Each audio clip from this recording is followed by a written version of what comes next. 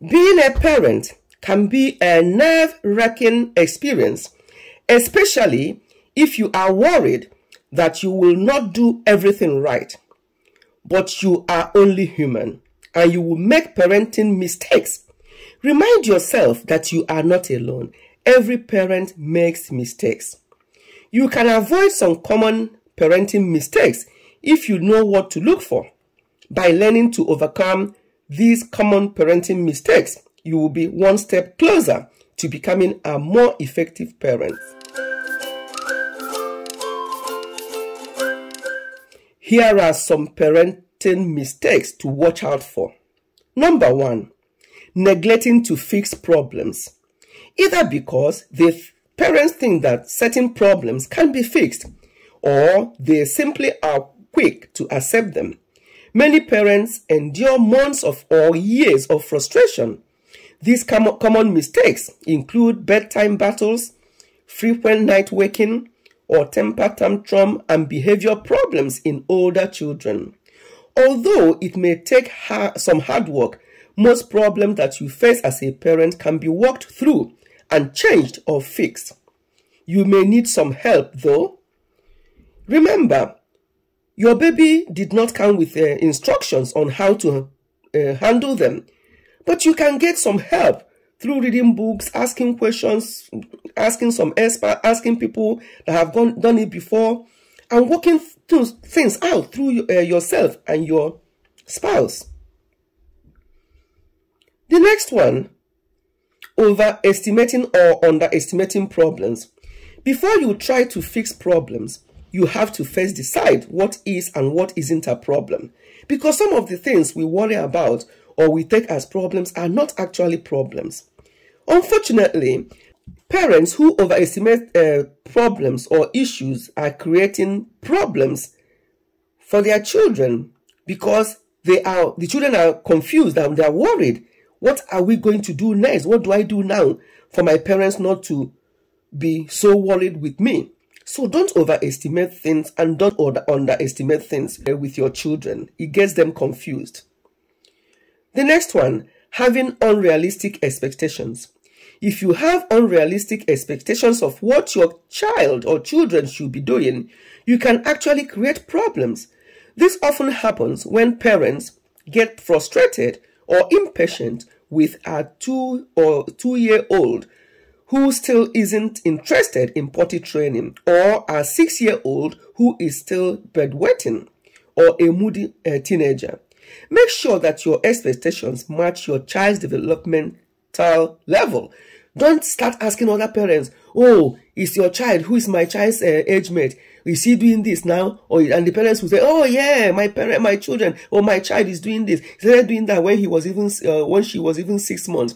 Another parent will now feel that they are not doing or that their children or their child is not doing well. No, every child is different. So don't just do what is right for you and your child and stop comparing them with your friends' and children who are at similar age. The next one is being being inconsistent. Few things can harm your children more than an inconsistent parenting style.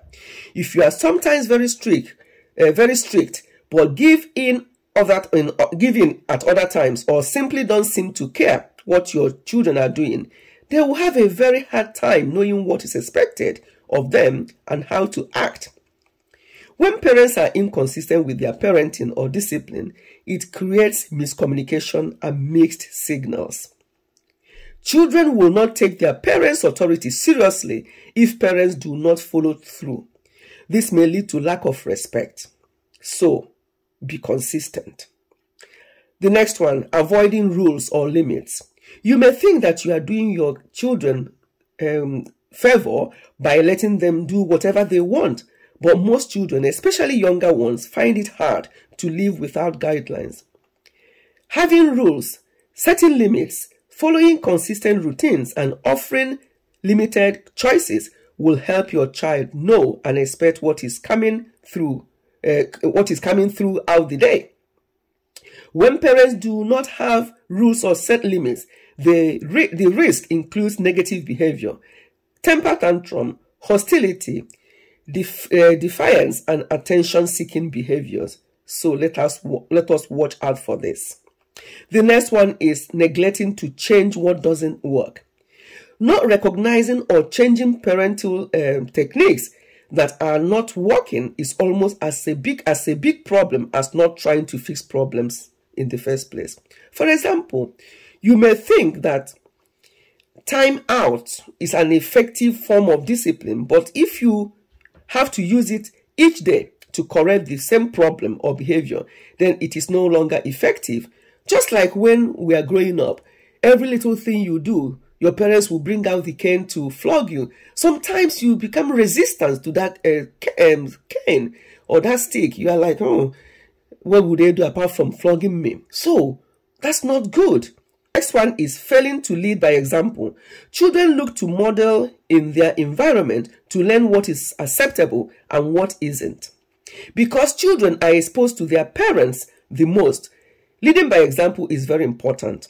Being a good role model also allows kids to learn positive behaviors. For instance, it is beneficial for kids or for children to see healthy communications and conflict resolution skills in action with their parents. The next one, fighting your child's battles. While there are some situations where parents should step in to help their children navigate conflict, always fighting a child's battles keeps them from learning how to interact with others. With young children, parents should model how to handle conflict and assert themselves but as kids get older, parents should gradually encourage children to take on more conflict resolution. When parents fight their children's battles, it teaches them that they do not have a voice. Children should be encouraged to be direct and assertive in a positive way. This helps them to create their own healthy boundaries with others. Failing to listen to your child, that's the next one, failing to listen to your child. When listening to your child, you are validating their thoughts and feelings. Listening also shows your child that they are important to you and helps to build a stronger connection between you. Listening attentively to your child helps them to develop a healthy self-concept as well as showing them that listening to others is important. When parents do not listen, children may feel dismissed and have self esteem issues. Children may grow up feeling they never live up to anyone's approval and live in constant state of feeling like a disappointment. I'll conclude by saying that most parents enter their parenting journey with the goal of being the best parents they can be. But despite how hard they try, they are going to stumble along the way. The key is to recognize that parents, parenting is a constantly evolving journey that requires adaptation. By recognizing common parenting mistakes and trying to address them before they become an issue, you can ensure that you, be, you, that you are becoming the most effective parent you can be. The first step is often to open, be open and flexible enough to recognize when you need to take a different direction. It is not one size fits all. If you are doing something and it's not working, you try and change it. I'm sure you have benefited from few things from these uh, common parent, uh, some of the co common parenting mistakes. Thank you so much for listening. Listening. Please share this with other parents so that they can see uh, what we have discussed today. I'll see you again in my next one. Goodbye and God bless.